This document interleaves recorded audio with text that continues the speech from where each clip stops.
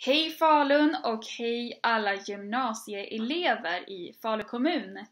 Henrietta Lysén här från vackra Maskrosbarn.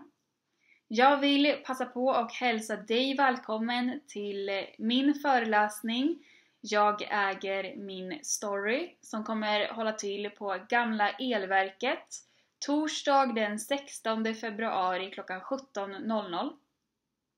Min föreläsning kommer handla om hur det var för mig att växa upp i ett hem där det fanns alkoholmissbruk och våld. Hur jag tog mig vidare från min uppväxt till den jag är idag. Och jag kommer även att prata en del om självförtroende, självkänsla, personlig utveckling och hur det går att vända någonting negativt till faktiskt en fördel. Så jag vill hälsa dig välkommen. Det kommer att serveras och säljas fika innan föreläsningen. Så kom och ta en fika med mig innan föreläsningen och så drar vi igång klockan 17.00. Och kom ihåg, det är begränsat antal platser så boka din plats idag för att få en garanterad plats. Så ta med dig alla dina vänner och klasskamrater så ses vi då. Hejdå!